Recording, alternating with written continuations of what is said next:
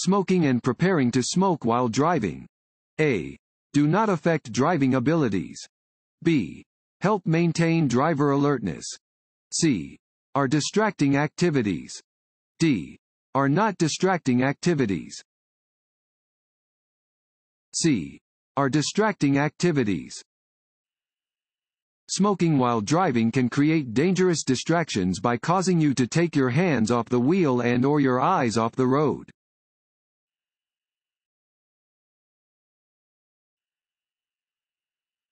When in a travel lane on the roadway. A. You may stop to drop off passengers. B. You may stop to look up an address. C. You may make a U-turn or back up if you get on the wrong entrance ramp of the freeway. D. Don't stop for any reason. Keep moving until you can safely pull off the road. D. Don't stop for any reason. Keep moving until you can safely pull off the road. You should not stop in a travel lane for any reason. Instead, keep moving until you can safely pull off of the road. If you miss your turn or exit, do not back up. Go to the next turn or exit or where you can safely turn around.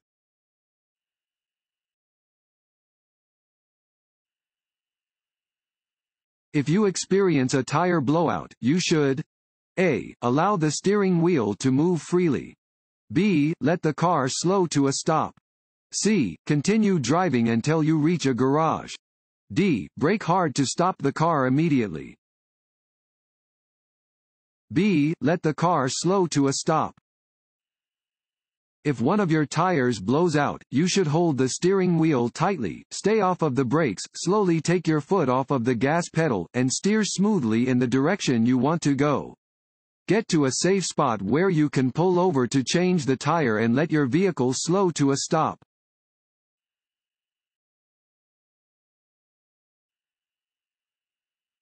If you are under age 21 and are convicted of driving under the influence of alcohol, you will receive a fill in the blank license suspension for a first offense. A. 60 day. B. 30 day. C. 6 month. D. 1 year. D. 1 year. If you are under age 21 and are convicted of driving under the influence, you will be subject to the penalties for the high rate of blood alcohol concentration BAC, regardless of your actual BAC. These penalties include a 12-month license suspension for the first offense.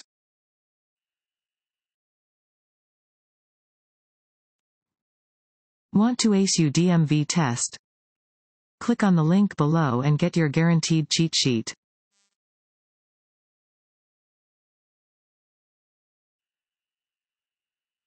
If you begin to feel tired while driving, the best thing to do is to A. Get some coffee. B. Open your window. C. Stop driving. D. Turn on the radio. C. Stop driving. Being fatigued while driving is similar in danger to driving under the influence of alcohol. If you begin to feel tired while driving, the best thing to do is to stop driving.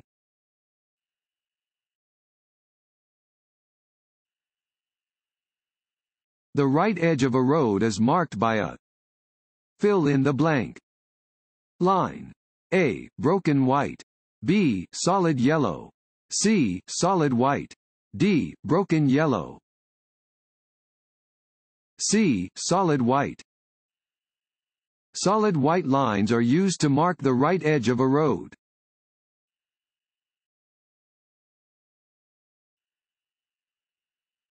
One of the penalties for driving under the influence of alcohol is A. A five-year driver license suspension. B. A $100 fine. C. Required attendance at an alcohol highway safety school.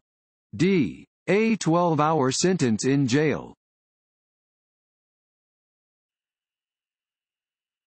This sign means A. No U-turn. B. No turning. C. No left turn. D. No right turn. It is best to keep a space cushion, A. Only in back of your vehicle. B. Only on the left and right sides of your vehicle. C. Only in front of the vehicle. D. On all sides of the vehicle. D. On all sides of the vehicle. To ensure that you will have time to react to hazards on the roadway, it is best to keep a cushion of space on all sides of your vehicle. Do not crowd vehicles to your left and right sides.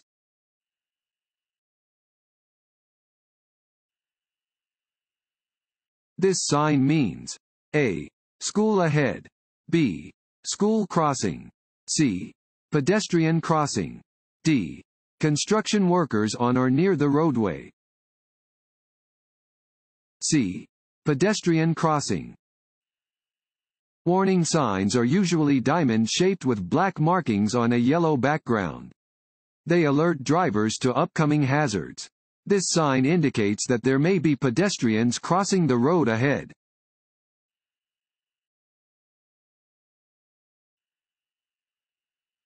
A steady yellow traffic signal means that a fill in the blank light will soon appear. A. Flashing yellow. B. Steady green. C. Steady red. D. Flashing red. C. Steady red. A steady yellow light on a traffic signal indicates that a steady red light will soon appear.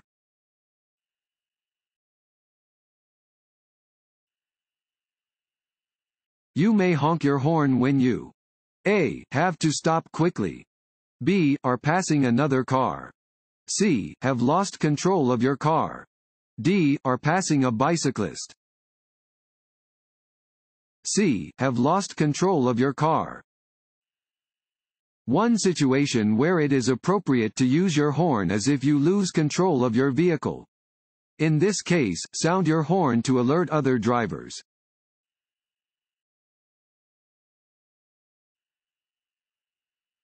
When driving in fog, you should use your A. Low beam headlights.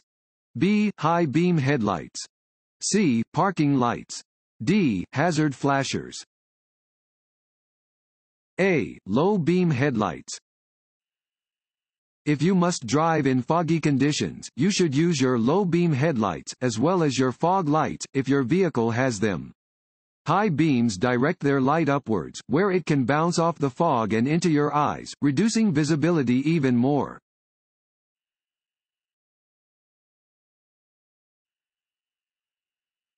Increasing your vehicle's speed. A. Increases your field of vision. B. Decreases your field of vision. C. Makes it easier to see cross traffic. D. Has no effect on your field of vision. The amount of space you need to cross traffic depends on the A. Road conditions, weather conditions, and oncoming traffic. B. Presence of a stop sign. C. Use of your turn signals. D. Cars behind you. When approaching a railroad crossing warning sign. A. Be ready to drive faster than the train. B. Be prepared to stop if a train is nearby. C. Look for a way around any lowered gates. D. Assume no trains are nearby and continue driving normally. B. Be prepared to stop if a train is nearby. Railroad crossing warning signs are used to warn drivers of the possibility of a train. Drivers should obey all railroad crossing warning signs and never go around barriers or disregard the warning sign.